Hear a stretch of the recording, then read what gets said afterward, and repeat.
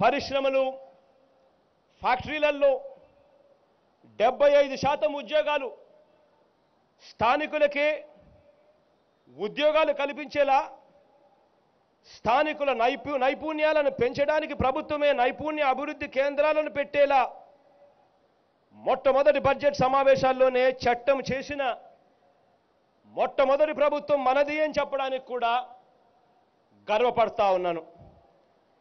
పరిశ్రమలకు దరఖాస్తు చేస్తున్నప్పుడే ఆ పరిశ్రమలకు ఎలాంటి సాంకేతిక నైపుణ్యాలున్న ఉద్యోగాలు కావాలి అన్నది చెబితే ఆ ప్రకారం స్థానికులకు శిక్షణ ఇచ్చి అటు పరిశ్రమలకు ఇటు స్థానికులకు వెన్నుదన్నుగా నిలబడే నిలబడాలని నిర్ణయించిన ప్రభుత్వం మనది అని చెప్పడానికి కూడా గర్వపడతా ఉన్నా.